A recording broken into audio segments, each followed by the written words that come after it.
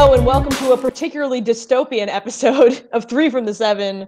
My name is Rafaela Kenny Sincata. I am the associate editor of Relix Magazine, and coming to us from an undisclosed location via like on-screen chat. Karina, what's up? What's up, Raf? These are uh, these are the crazy times, right? Did you ever think it would come to this? Probably not. But this is we're making uh, lemonade out of the lemons we've been given, and uh, I'm very happy that we can you know, continue a semblance of normalcy um, in these ways. So nice to see you. How nice are you? to see you too. I'm good. I am broadcasting from my childhood home here in Long Island. If you're watching the video version, we are in the Palm Lounge. It's my the bar my parents have. Um, and you are clearly in. Uh, if you're watching the video version at home, Karina is clearly in some sort of catacomb deep in the yeah. in the depths of upstate New York it's a uh, candle lit bunker, and uh, you know maybe I'll take you on a tour later. But it's uh, hand painted and textiled, and you know I feel very comfortable doing my work from here as opposed to in the sunlight like a normal person. so just got to keep it in the bunker, you know what I mean? And uh, feels good, feels right. It feels really great. Um, I'm here with some dear friends of mine and uh, you know actually i've been coming to this house quite some time and i remember like being here for hurricane irene the one like pre-sandy that people thought was like that's why nobody took sandy seriously. I don't know if you remember that.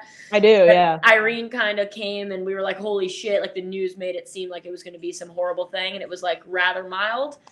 And i was here for that and we had like the eye of the storm jam and it was like a whole thing. Anyway, I've uh, locked some time here, and it's uh, very grateful to you know have a safe bunker to uh, chat with you from. So, so what day did you kind of make it up there? And was your departure from New York frantic or chill? I imagine you just like grabbing instruments off the wall and just being like. I actually, well, yeah, my dear friends brought some instruments, but I had a bass at Marco Benevento's house up here, which is not far. Um, so we went over to pick up my uh, 68 Fender Mustang, which is a beautiful bass that we have. And yeah, I mean, it was it was not chill per se, but it wasn't it wasn't completely hysterical. You know, like I feel like it, all of this is so uncertain that you could only kind of take it a day at a time anyway. You know what I mean? Like we're just kind of I don't know. On, we came up on Friday and we just you know, put a bunch of food and clothing and like, you know, we kind of packed our bags and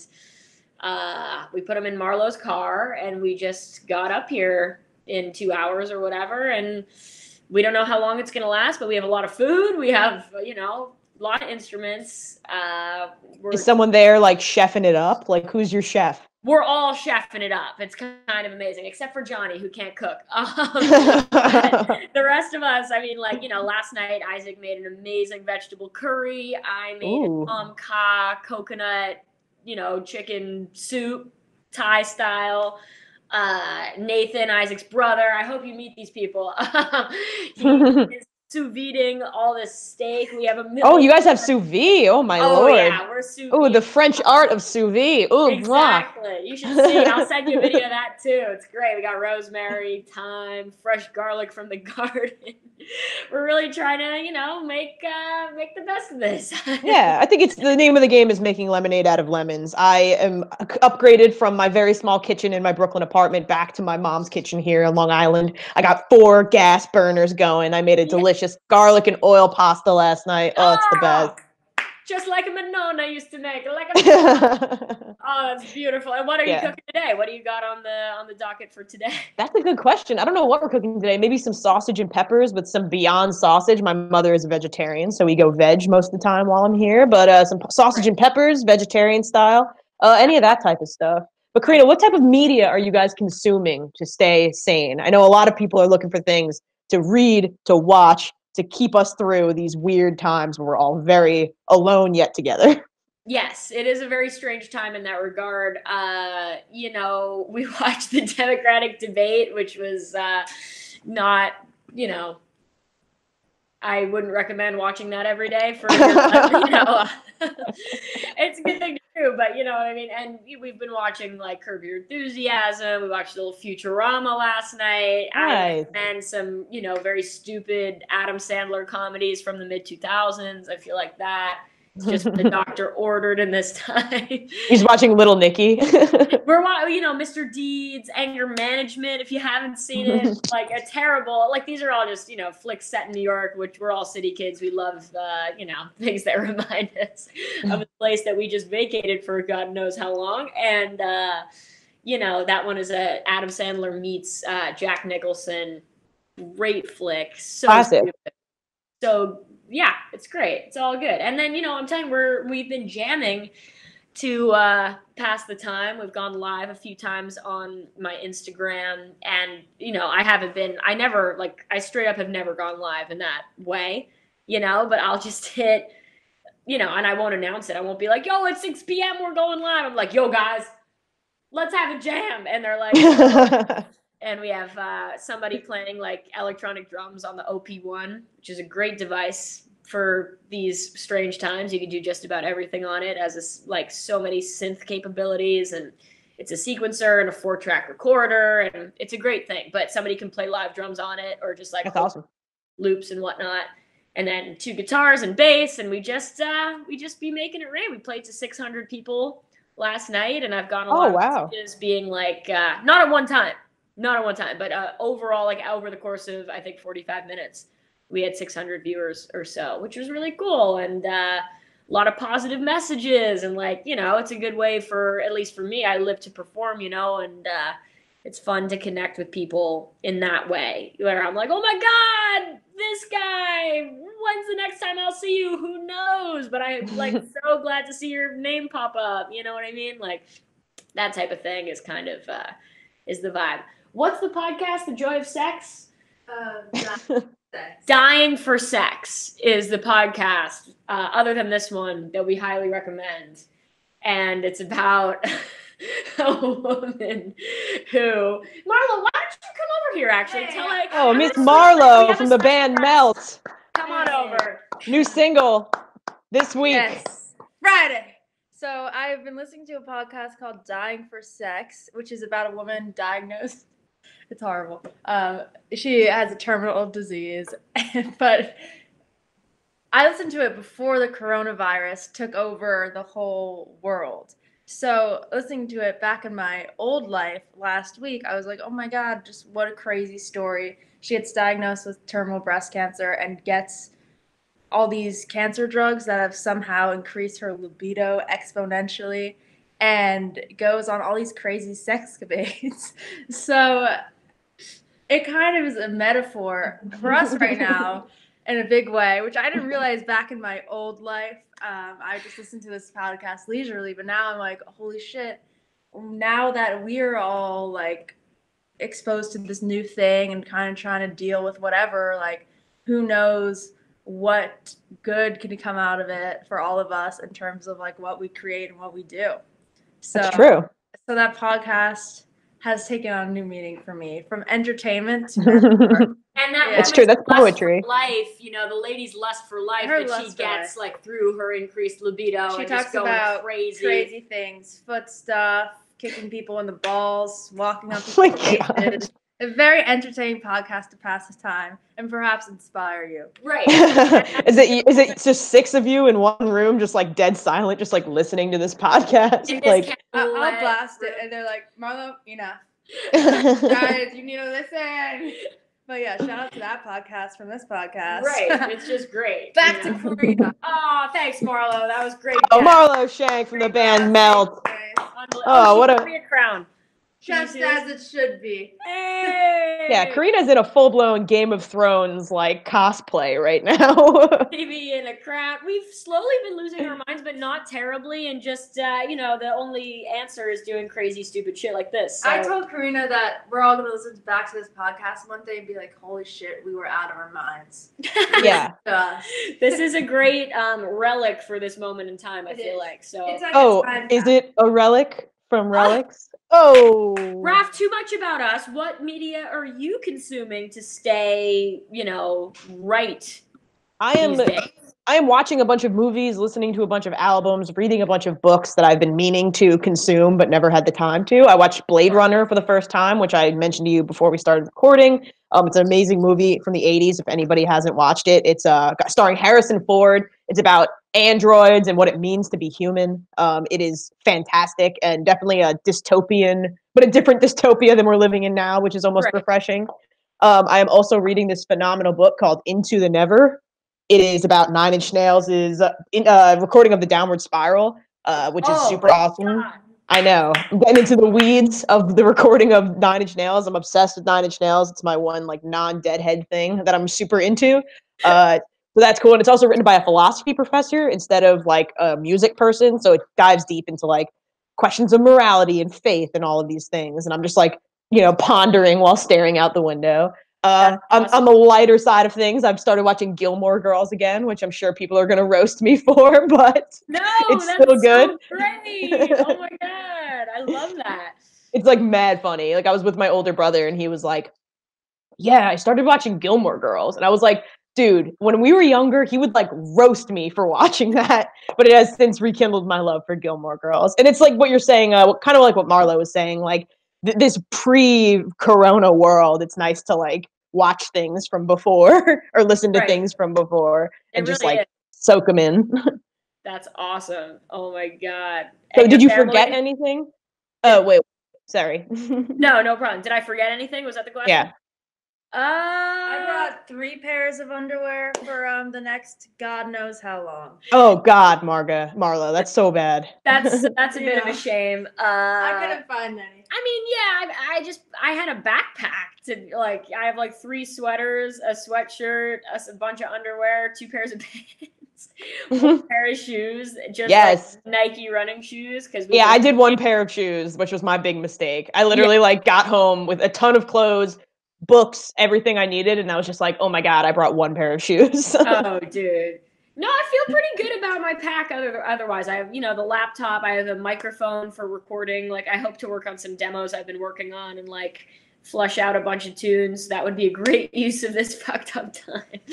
And uh, oh, I'm reading the trendiest book of all time, uh, Trick Mirror.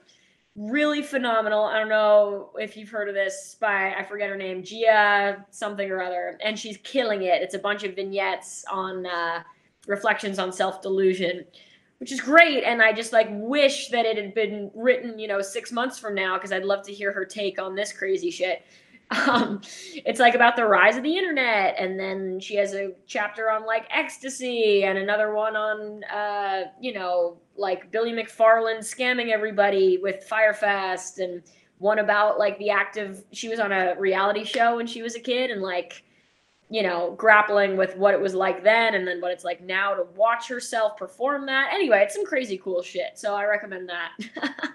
Yeah. Everybody's watching it. I mean reading it. Um but yeah, I don't know. I feel I feel pretty well stocked here. We're doing good. We, you know, it's uh it's tough to get city kids to like slow down. And I know you're now you're a Brooklynite at this point, right? So like Yeah. I don't know. I'm just like really getting used to not being like, oh shit, like walk outside and the world is like, pow. Now I'm just Yeah. like, all right, it's just still and calm up here, and I'm wearing crowns and shit. Um, I think the I think the big thing is like not having the option of going anywhere. Like Yeah. I'm a homebody by trade, but like I think I always enjoyed the option of oh I could could go to the Brooklyn Bowl tonight. I could Yeah. go out to dinner with friends. And now the option not being available is very like constricting. that is tough. um but I think the important thing is like focusing on these creative endeavors like we said whether it be consuming media or creating art like you're jamming. Um I texted Karina not too long ago about I just picked up my old electric guitar that I haven't picked up in years and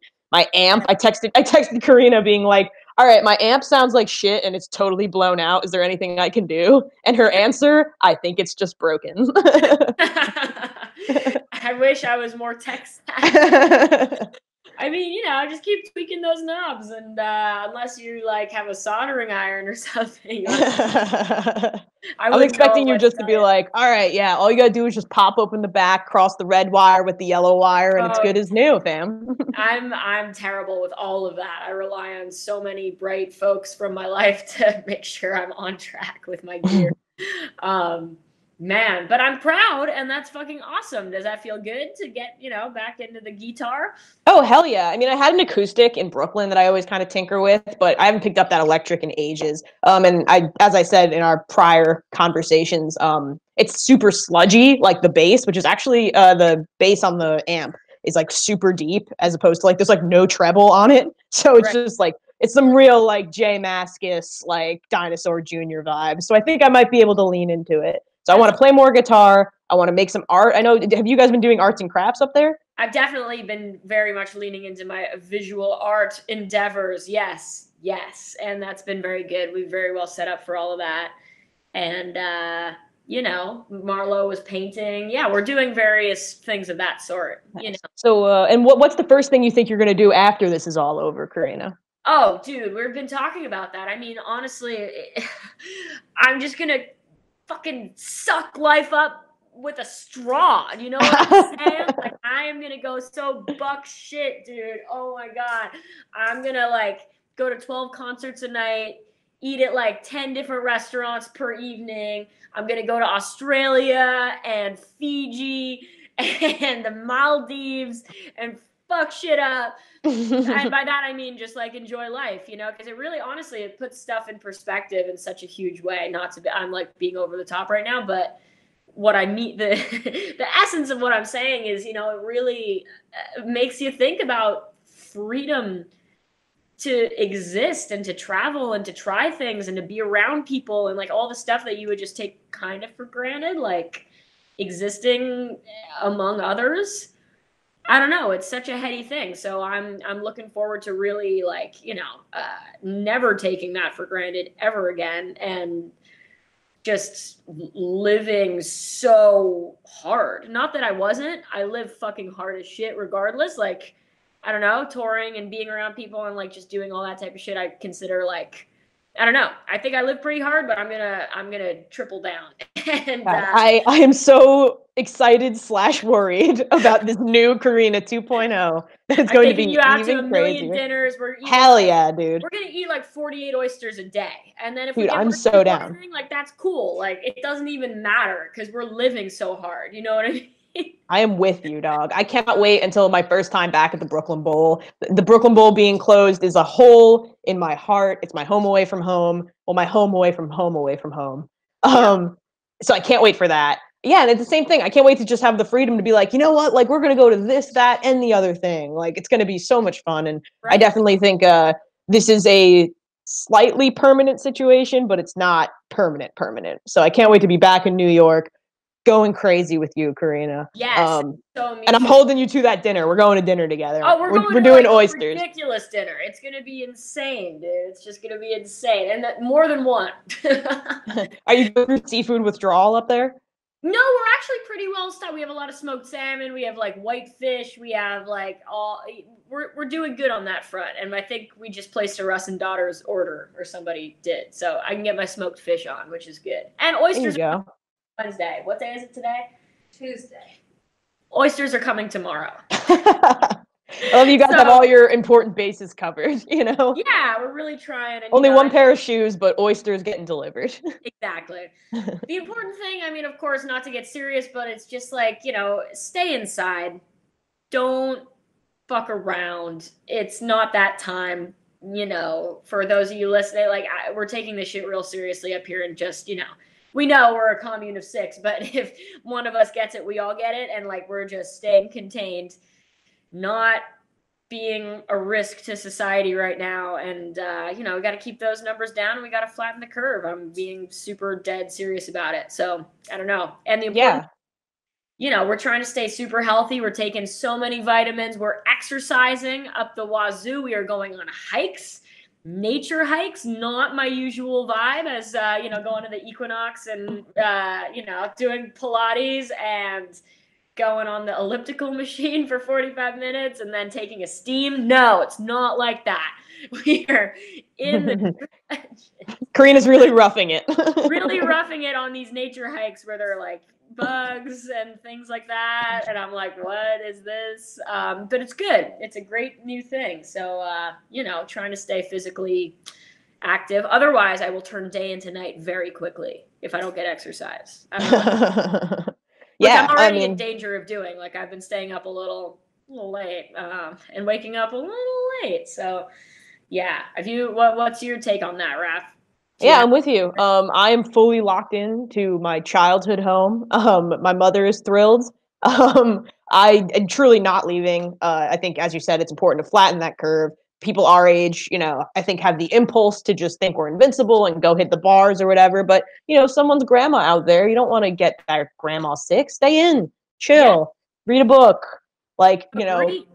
I have a plan to FaceTime with a bunch of friends later. Uh, there's like a bunch of things you can do to kind of get your social fix. Uh, one of which being kind of you know FaceTiming with friends as we are right now.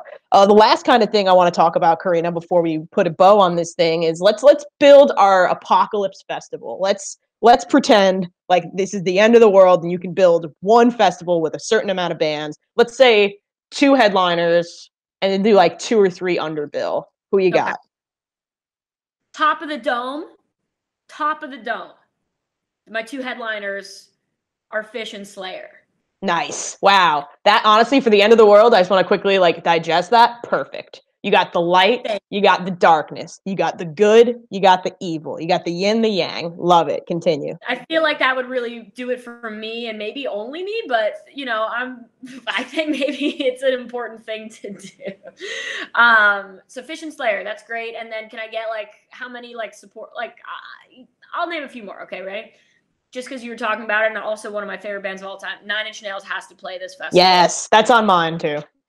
fantastic. Oh my god. Um, very personal level, but whatever. Beck has to play. There's gonna Okay. be nails and Beck. And uh, you know, can I can I get a hologram going? Is that is that a thing I can It's the end of the world. Let's throw a hologram in there. all right, or not even. You know what? We're gonna have the Beastie Boys, but with um, Q-Tip playing the part of MCA. Yeah, but where is it though? What where's your venue? Oh, where is it? Holy Yeah. shit! Probably You gotta book a you gotta book a room, KR. Come on, you're a professional. It's probably in this bunker. No, I'm just kidding. Um, let me think about that. Um, you know what? It's at the pyramids. It's at the Egyptian pyramids. sick, Definitely. dude. That's Definitely. sick. What do you got on the set? Okay, I'm gonna build off of yours a little bit. I'm gonna I'm gonna scrap Slayer just because I'm not the hugest Slayer fan, and it's Fine, my fine. so I'm I'm moving Nine Inch Nails up. So two two shows each. Phish Nine Inch Nails. That's what we got so far. Love You know it. I gotta you know I gotta throw my boy Dave in there. It's a little Dave Matthews band. Or actually, scratch that. I'm gonna do a two set, one Dave Matthews band set, one Dave and Tim set. So we get some emotional acoustics. That's the part where I cry. That's the set I cry at. Then then I'm gonna do some widespread panic because if the world's gonna burn, I want Jimmy Herring there and I want him to be shredding on guitar. What else? Then I'm gonna it. do some electronic stuff. I'm gonna do some Tipper. I'm gonna do some Space Jesus. And then I'm gonna sorry, what came after Tipper? I'm sorry. Space Jesus. Oh, good. Yo, Karina's like judging me so hard right now. You're not No, invited. I'm so invited. How about And like Kraftwerk and like uh Aphex Twin? Oh no, actually, no, no. Actually, Scrap Tipper, Scrap Space Jesus, Daft Punk's getting back together. Daft Punk on there. That I mean, I'm not no disrespect, but that really sends it home for me, Rob. It sends it home. You know, And you know what, Karina? You know what I'm gonna do? You know who's playing late night every night? Karina? Rykman. The, Kar- the namesake ah! Karina Rykman project. No, she didn't. No, she didn't. Yo, Doing three late- Yeah, dude, the queen of the castle. The queen. Like I'm gonna have oh, and then I think I'd probably just do some like just some stray ones for the homies. I would have Andy Frasco there. I would have Spafford there. I would have who else? Fuck it, maybe some pigeons. I would do a bunch of like of our like the homies, like the the kind of mid level jam bands, just going through all I day like that jam. a lot. I like that a lot. I think that's Straps great. out. And for venue, hmm, I gotta do the garden, man, Madison Square Garden. Or love it. or if it's outdoors, I would do uh the Arrington, Virginia, the farm that Lockn's on. Because that's good. That's good vibes. That's family right there. Oh my god. That's close to home. That's close to home. For those of you just uh, listening, uh, the crown I'm wearing just fell off, so don't worry about it. Um, Yeah, and then also one other band I would have Melt play there. Shout out to Marlo who's in the room. Yeah! Shout out to Melt. They have a new single dropping this Friday. It's called Shy. We're looking forward to it very much around here. Hey! Hey! And Ralph, Yeah. I'm not gonna lie to you. Uh, I feel like my devices are about to die. Okay. Well, let's quickly say goodbye. Uh, everybody, thank you so much for tuning in for this particularly strange episode. You can subscribe to Relix, re- uh, relix.com slash tame. Tame Impala is on the, the cover. It's a wonderful issue. Uh, uh, you can follow us on Instagram at three from the seven. Email us at rafandkarina at gmail.com. Three from the seven is brought to you by Relix Media Group. Our producer, who has been on this call, silent Will Schwerd, hashtag Schwerd up. Shout out to the man. Karina, send us home. Raf, these are uncertain times. And in uncertain times, you really find out who you really are. And you know what? You are my podcast wife, bitch. That's right. And we love you. We Put love a ring you on it. lo- I will. I'm going to buy you a ring when this is all over. And we're going to have a sweet ass ceremony. Uh, anyway, I love you very much. And I really hope that you are doing well in your isolation. I hope everyone out there is taking this one day at a time. Don't get too hystericized.